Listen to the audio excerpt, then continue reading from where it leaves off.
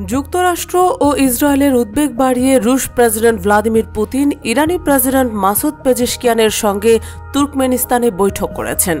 শুক্রবার অনুষ্ঠিত এই বৈঠকে দুদেশের অর্থনৈতিক সম্পর্কের গভীরতা বৃদ্ধি ও বিশ্ব পরিস্থিতি নিয়ে মতবিনিময় করেছেন পুতিন ও পেজেশকিয়ান। ব্রিটিশ বার্তা সংস্থা রয়টার্স এ খবর জানিয়েছে। পেজিশকিয়ানকে পুতিন বলেছেন, আন্তর্জাতিক পরিসরে আমরা সক্রিয়ভাবে কাঁধে কাঁধ মিলিয়েই অংশগ্রহণ করি। বৈশ্বিক পরিস্থিতি নিয়ে আমাদের দৃষ্টিভঙ্গিতেও যথেষ্ট সাদৃশ্য রয়েছে। ইরানের সঙ্গে সব ক্ষেত্রে সম্পর্কের ব্যাপ্তি বৃদ্ধি হচ্ছে বলেও দাবি করেছে রাশিয়া। ইউক্রেনের রুশ সামরিক অভিযানকে ঘিরে ওয়াশিংটন ও ইউরোপীয় ইউনিয়নের চক্ষুশুলে পরিণত হওয়া পুতিন এই যুদ্ধকে অহংকারী ও স্বার্থান্বেষী পশ্চিমা বিশ্বের বিরুদ্ধে অস্তিত্বের লড়াই হিসেবে বিবেচনা করে থাকেন। সংগ্রামে জয়লাভের জন্য তিনি বৈশ্বিক পূর্ব ও বৈশ্বিক দক্ষিণের সঙ্গে সম্পর্ক দৃঢ় করার চেষ্টা করে যাচ্ছেন। রাশিয়ার রাষ্ট্রীয় সংবাদ মাধ্যম আর আই এ জানিয়েছে, পেজেশকিয়ানকে আনুষ্ঠানিক সফরের আমন্ত্রণ জানিয়েছেন পুতিন। ইরানি প্রেসিডেন্ট তার তার আমন্ত্রণ গ্রহণ করেছেন।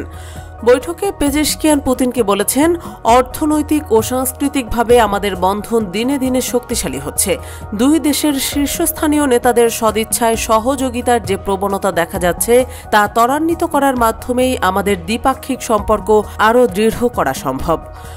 বৈঠকের পর ইরানি প্রেসিডেন্টের কার্যালয়ের প্রকাশিত এক ভিডিও বার্তায় পেজেশকিয়ান বলেছেন, আমাদের মধ্যে গঠনমূলক আলোচনা হয়েছে।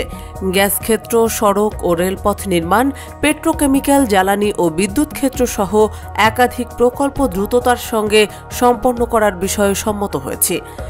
পেজেশকিয়ান গত মাসে জানিয়েছিলেন, পশ্চিমা নিষেধাজ্ঞার ধাক্কা সামলে নিতে রাশিয়ার সঙ্গে সম্পর্ক উন্নয়নের সিদ্ধান্ত নিয়েছে ইরান।